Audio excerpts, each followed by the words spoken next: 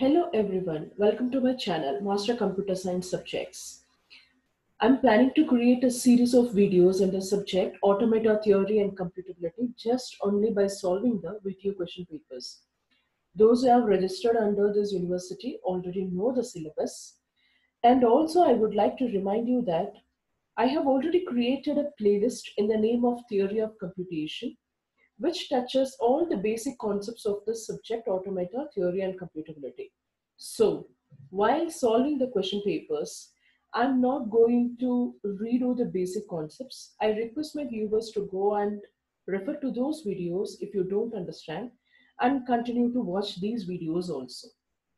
And I'm planning to solve the problems module by module. So let us begin with module one. Already I have displayed the questions here the first question came in the year December, January 2018 question paper.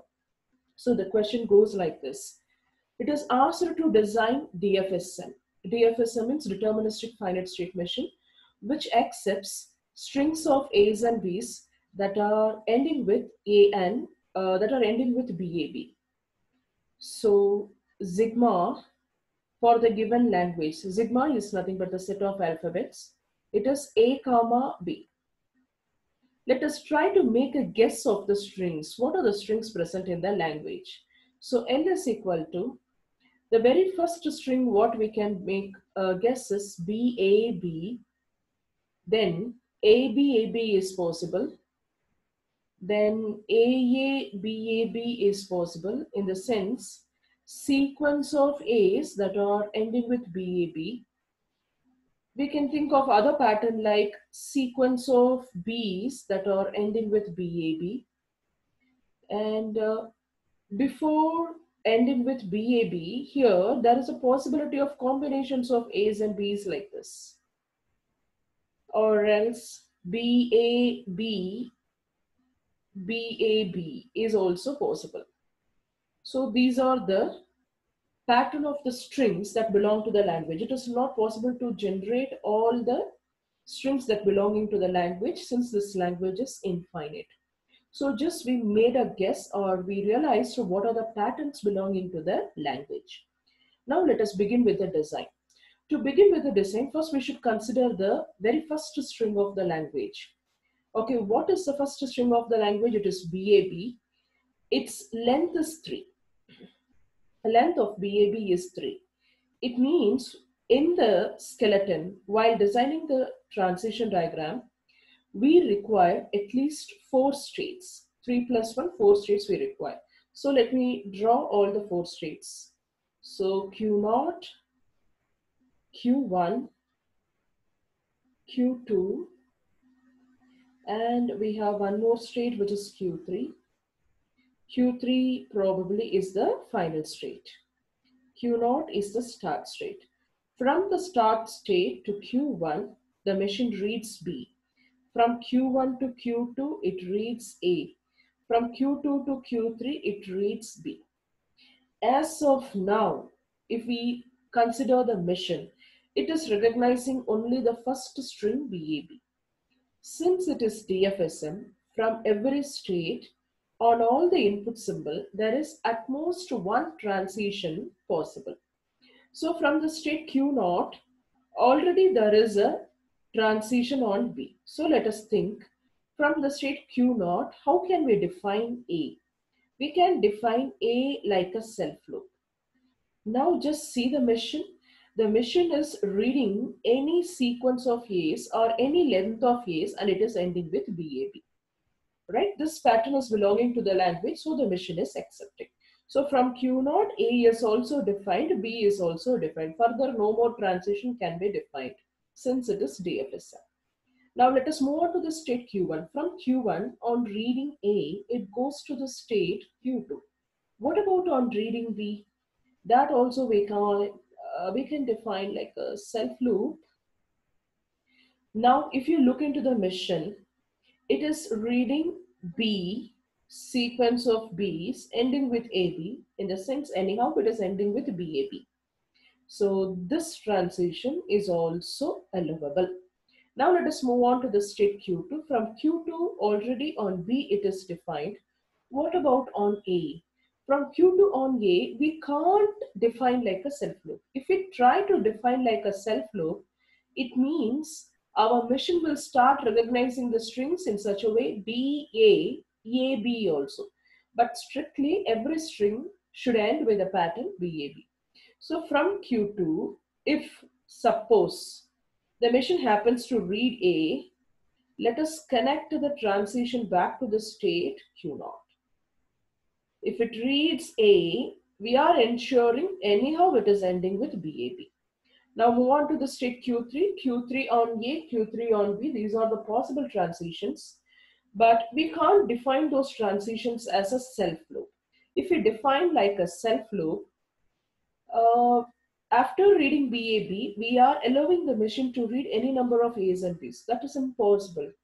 So we can think of those transitions back to the previous state. So how do we connect it? From Q3, if it happens to read A, because there is a possibility we can have strings like this, B, A, B, A, A, A, B, A, B also, all right?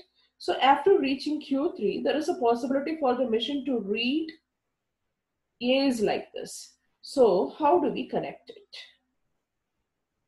From Q3, on reading A,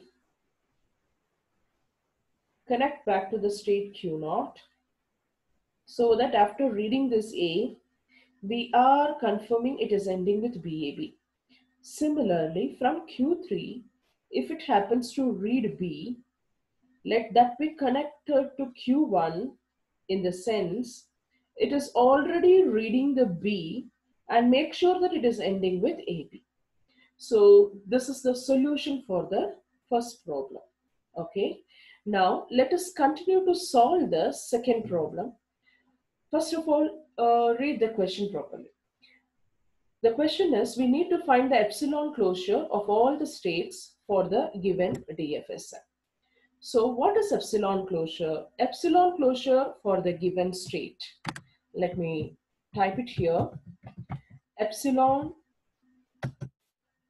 closure for the given state are nothing but the states that are reachable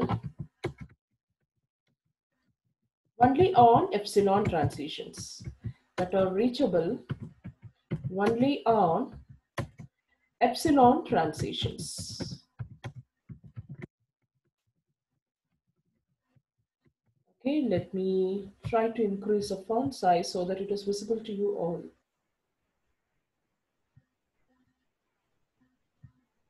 Yes.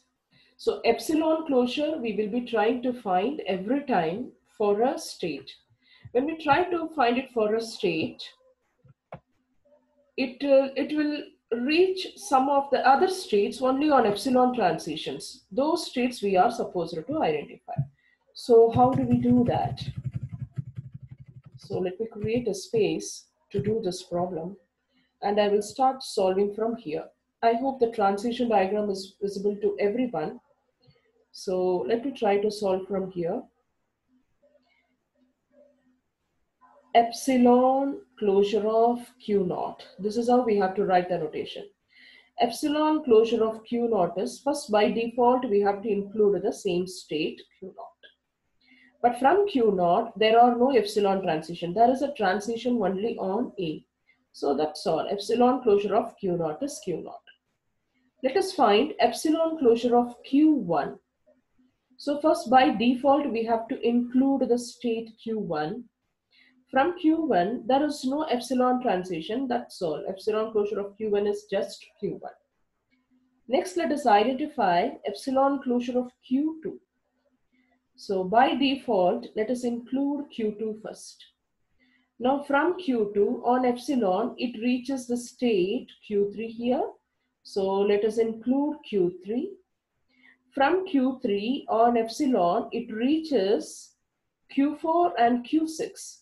Let us include that also, Q4 and Q6. That's it. From Q2 on epsilon it reaches Q3. From Q3 on epsilon the machine reaches the state Q4 and Q6. Again from Q4 and Q6 explore for epsilon transition. There are no transitions, so you can leave it. But at the same time, from Q2, there is another epsilon transition which leads to Q9 that we have to include it here. So epsilon closure of Q2 is Q2, Q3, Q4, Q6, and also Q9. Okay, now let us try to identify what is epsilon closure of Q3.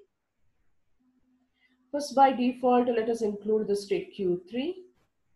From the state Q3 on epsilon, it reaches Q4 and Q6. Let us include that also. Now go to Q4 and Q6 and explore whether there are any epsilon transitions from there.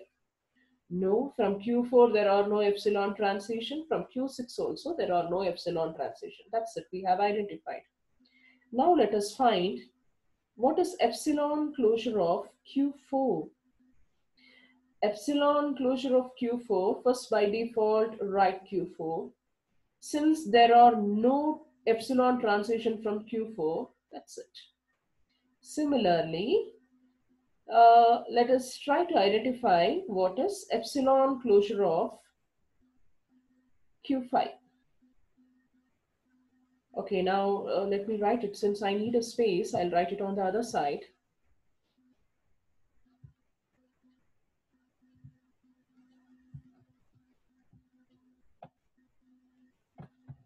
Yeah. Now let us try to identify what is the epsilon closure of Q5. So epsilon closure of Q5 is equal to, first by default, let us include Q5. From Q5, check for epsilon transition. Yes, there is an epsilon transition to Q8. So let us include Q8 also. From Q8, check whether is there any epsilon transition. Yes, from Q8 on epsilon, it reaches Q9 as well as it reaches Q3. So let me include it Q9 as well as Q3. From Q9, let me try to identify whether any epsilon transition exists. There are no epsilon transition. Go to Q3. From Q3, again, there are epsilon transitions on Q4 and Q6. Let us include that. This is how we have to find the epsilon closure of every state. So what is epsilon closure of Q6? Just by default, blindly include the same state Q6. From Q6, there are no epsilon transition at all. So let us close this set. Now, epsilon closure of Q7. First, include Q7. From Q7 on epsilon, it reaches Q8 from Q8 on epsilon, it reaches Q9 as well as Q3. We know that from Q3 on epsilon, it is able to reach Q4 and Q6. So those states are also included. Epsilon closure of Q8. First, by default, we have to include Q8. From Q8 on epsilon, it reaches Q9 as well as Q3. From Q3, there are epsilon transitions on Q4 to Q6. Now we write what is epsilon closure of Q9.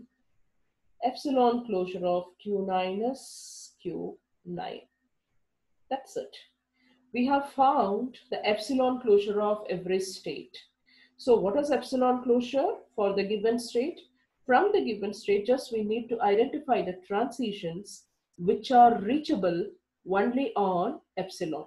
And finding epsilon closure is the first step, or I can say it is a zeroth step while converting the NFSM to DFSM, or while finding the equivalence of equivalent DFSM for the given NFSM. So this is the basic step. I hope you all have understood this. If any queries is there, please comment. Also, please subscribe to my channel and continue to watch. Thank you.